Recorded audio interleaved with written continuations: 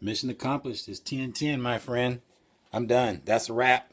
Six bottles down today. Um, full detox for one day. I'll talk to you guys soon. Peace.